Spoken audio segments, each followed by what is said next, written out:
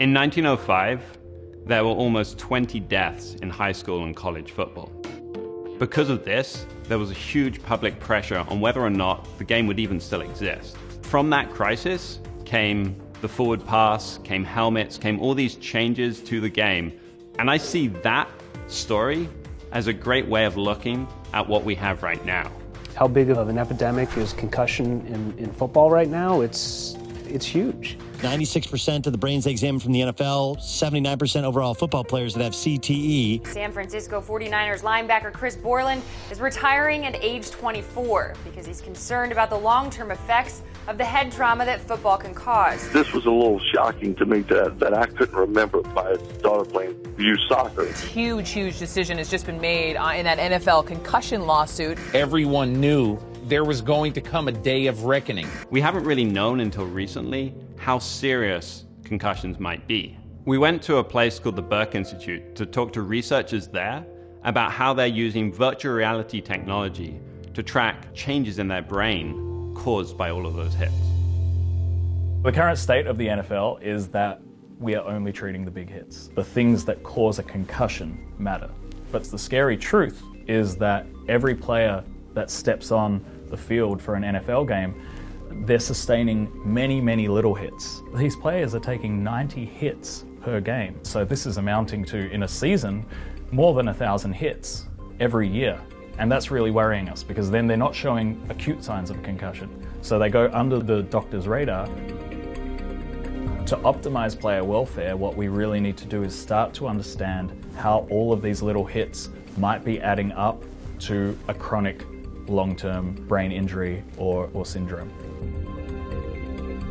What we're really trying to do with these tests is hack the brain. The first way that we do that is with smooth eye tracking. What's going to happen is this system is going to track my eye movements, and so long as I am following the scene in the way that we want the person to follow the scene, which is a smooth pursuit movement, I'll hear music to sort of give me the indication that I'm doing the right thing.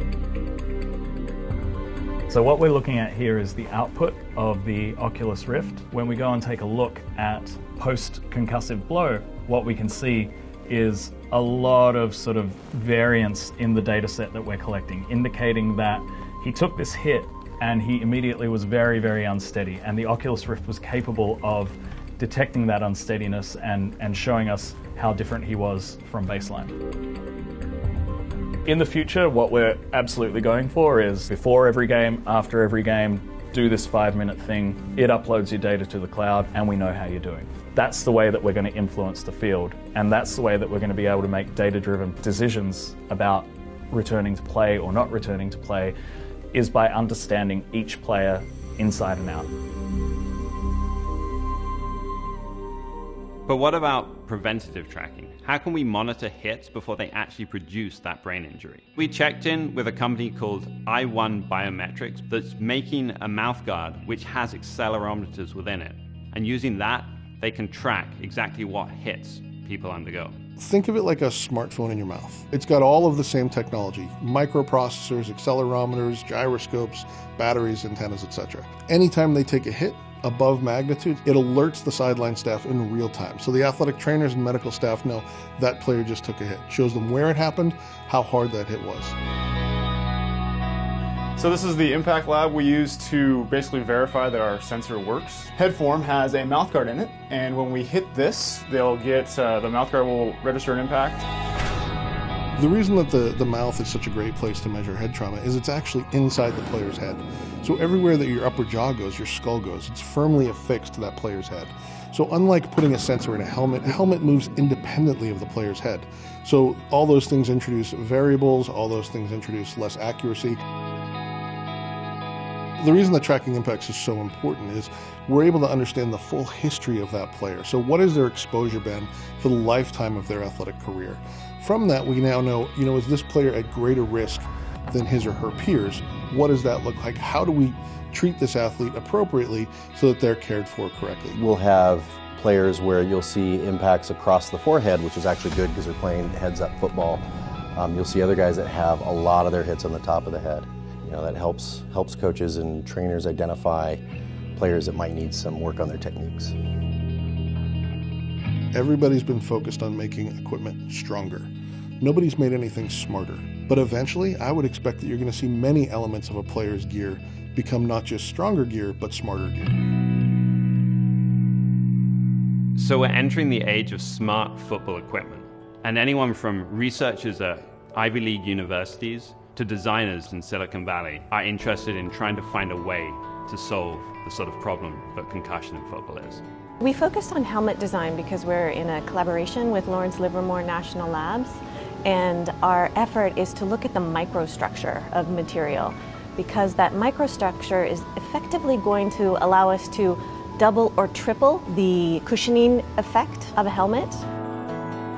In some sense, you could have a smart helmet in the future, something that can sense an impact and relocate that load depending upon the nature of the impact, whether it's a direct impact or a glancing impact.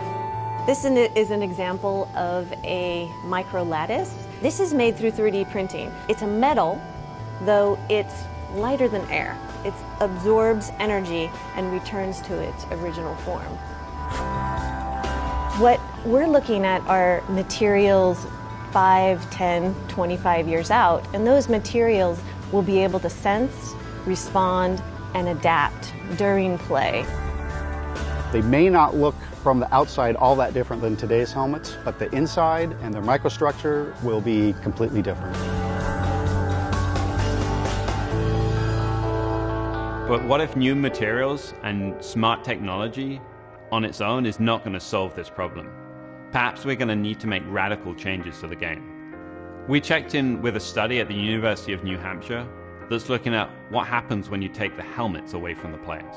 The HUT program is, is prescribed throughout the course of the season where players will participate in tackling and blocking drills without helmets and shoulder pads in place. It just teaches your kids that, you know, the head is and the helmet aren't weapons. Our tackling's improved, our technique of how to tackle is improved, and our, you know, blows to the head have, have lessened while we're doing this. Really caught the kids' attention. That was the thing after we started doing it, caught the kids' attention that they're doing this for a reason, and the reason's a pretty good one. I think what we're doing as a culture in football right now is, is, is good. Everybody's identifying it, they understand the consequences.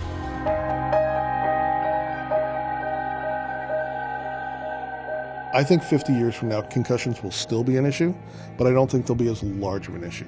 We're at a critical point right now where the game has not become significantly safer, but our understanding of injury has increased exponentially. That's leading to innovation, and so I think you'll see less issues in the future, but you can't take the violence out of the game. When a big hit happens to a key player at Super Bowl 100, the coaches on the sideline will know immediately exactly what's going on in that player's brain. They're going to be able to decide whether or not that player needs to be taken out. And if that player does need to be taken out, perhaps they go to the sideline, they take a medication, and maybe they're back for the second half.